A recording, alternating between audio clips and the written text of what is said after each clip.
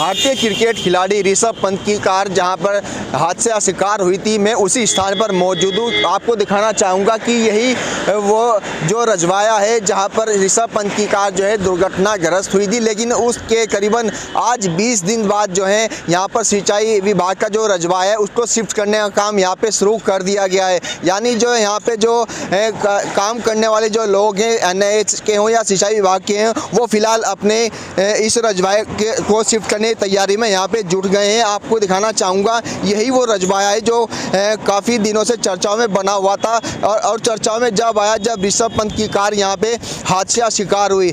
कई लोगों ने यहाँ पे आवाज़ उठाई थी कि जो ये रजवाया है जो ये मंगलौर से निकल रहा है इसको यहाँ से शिफ्ट किया जाए। लेकिन आज जाकर जो है इस इस रजवाए को जो है शिफ्ट करने का काम यहाँ पे शुरू कर दिया गया है।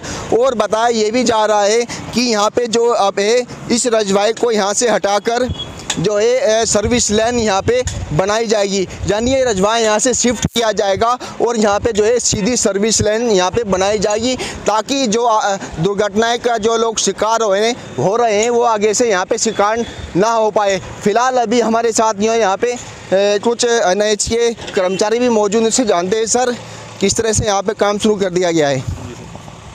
जी। किस तरह से काम शुरू किया गया है यहाँ पे? किस तरह से?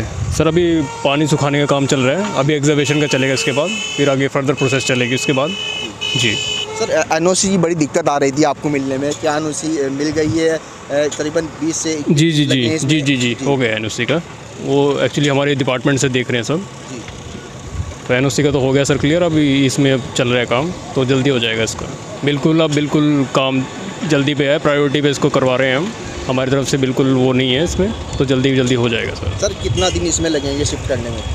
अभी सर हमारा बिल्कुल प्रायोरिटी पे काम है तो हमारा ये है कि जल्दी से जल्दी हो जाए। जी।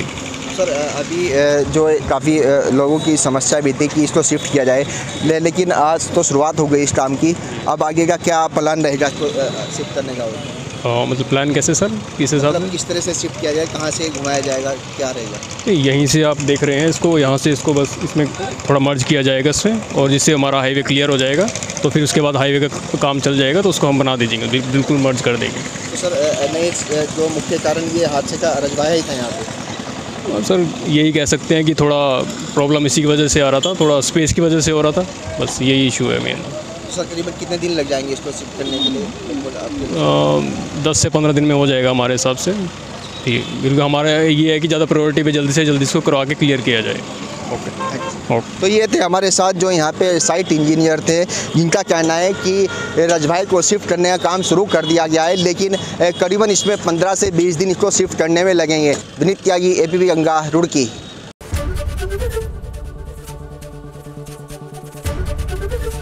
ABP Ganga खबर आपकी जुबा आपकी।